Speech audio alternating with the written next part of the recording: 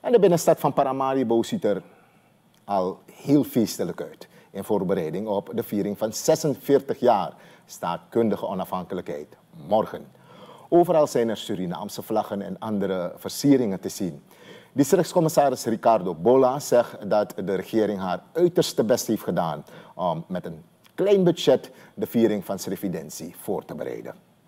We hebben met heel weinig geld toch geprobeerd als regering de afgelopen maanden dit land draaiende te houden voor ons allen. Dus er waren geen middelen. We hebben veel sponsoring gehad ook, laat het ook gelijk gezegd worden. Een heleboel wat de mensen gaan zien en meemaken is gesponsord.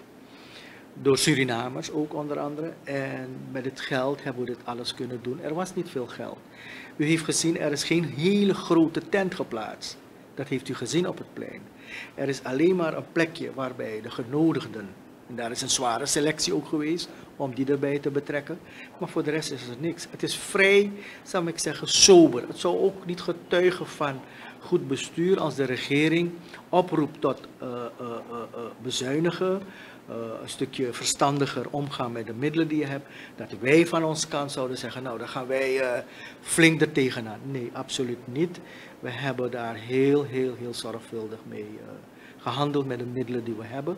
En wat het precies heeft gekost, dat kan ik u niet vertellen.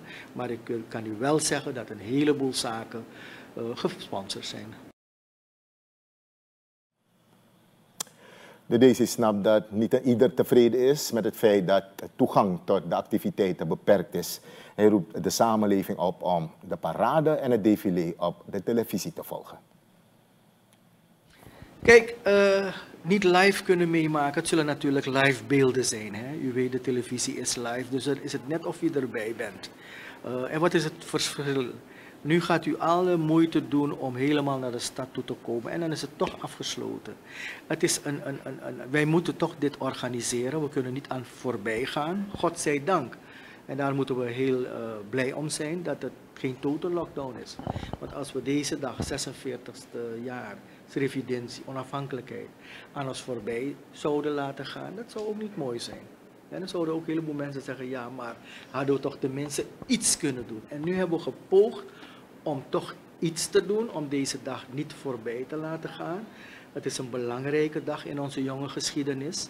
En uh, we hebben geprobeerd dat toch, hoe kleinschalig dan ook, uh, toch te moeten organiseren, zodat toch een ieder kan luisteren, kan kijken. En later op de dag kunnen de mensen wel zich gaan verplaatsen met de nodige COVID-regels in acht te nemen.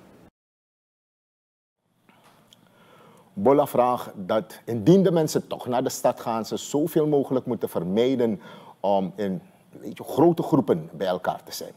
Trouwens, de live-uitzending kunt u volgen via ATV, kanaal 12.1.